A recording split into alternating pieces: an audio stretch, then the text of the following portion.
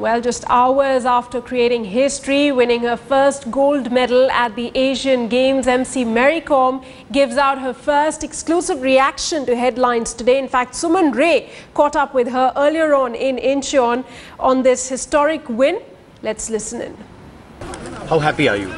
Sir थोड़ा पीछे कर लो पीछे करके ले लो well, well, I'm I'm very happy, of Okay, course. okay. Every, I think uh, I, I hope uh, everyone is happy.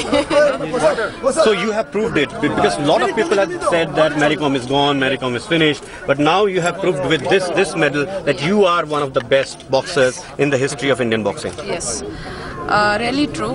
Uh, well, uh, after the kid was uh, people uh, they're always negative, you know. Uh, and after again I was uh, having a third kid.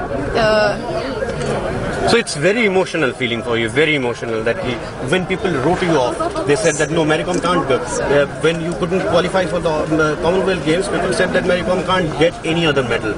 You proved that you are there, you are among the best. Yes, when the, the that kind of uh, challenges is coming, so give uh, more, you know, aggression, uh, aggressive, and uh, more challenges. Uh, So this medal, That is, you uh, will attribute this medal to whom? that Your- is come true from God. Yeah.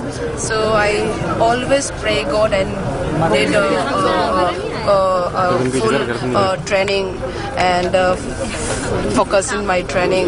Your coach is very happy, very happy, and he said he said that uh, you he said is- that you are the one of the greatest only, greatest not, not only my coach, he is my big brother, and he always we are like brother and sister.